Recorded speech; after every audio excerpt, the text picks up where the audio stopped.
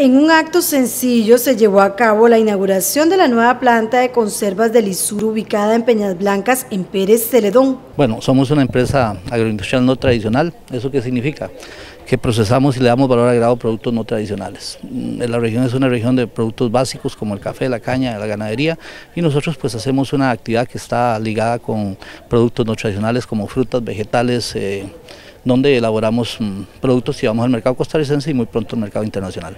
Este es uno de los proyectos que fue visitado el fin de semana por el gerente general de Procomer, Pedro Beirute, y las viceministras de Agricultura y Ganadería, Ana Cristina Quirós, y la de Economía, Laura Pacheco, quienes se encargaron de realizar el corte de la cinta de la nueva planta industrial. Se trata de una estructura de 500 metros cuadrados. Conservas del Sur es una empresa que tiene 19 años de edad. Iniciamos eh, por los 2000, eh, ¿verdad?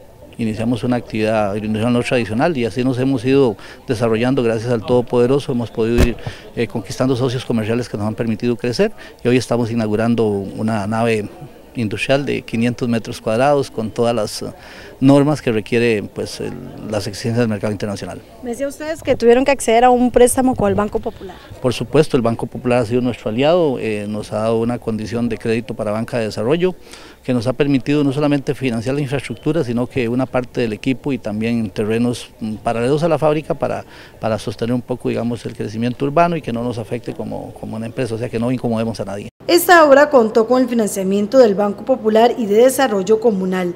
nosotros como Banco Popular estamos orientados al fortalecimiento de, este tipo de empresas, pequeñas y medianas empresas en la, en región.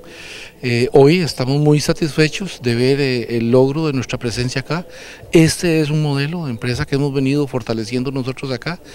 Eh, hoy no es casualidad que estemos aquí, hemos venido trabajando con ellos alrededor de hace dos años y medio.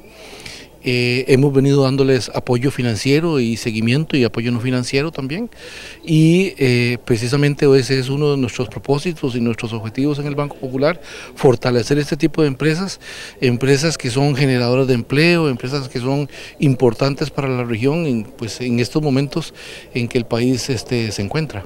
Como parte de las gestiones esperan exportar sus productos en Centroamérica, negociaciones que ya van encaminadas. Nosotros estamos un poquito adelantados en esto, tenemos muy buenos contactos con Panamá y Centroamérica y se empiezan a hacer los primeros eh, enlaces con la parte, digamos, de Norteamérica, Estados Unidos específicamente.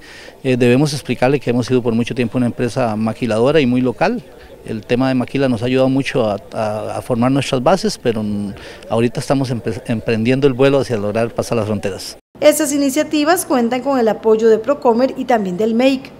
Como Ministerio de Economía, Industria y Comercio somos ente rector en materia de pequeñas empresas, somos el ente llamado a apoyarlas y articular con otras instituciones como el Ministerio de Agricultura y Ganadería, como la, misma promotora Procomer, este, ya que el gobierno está trazando una ruta clara de reactivación económica. En momentos en que el país se encuentra en una coyuntura fiscal algo complicada, la reactivación económica es la clave para sacar adelante en los territorios el desarrollo de, las empresas, de tal forma que eh, el hecho de venir a inaugurar tres plantas nos llena de muchísimo orgullo.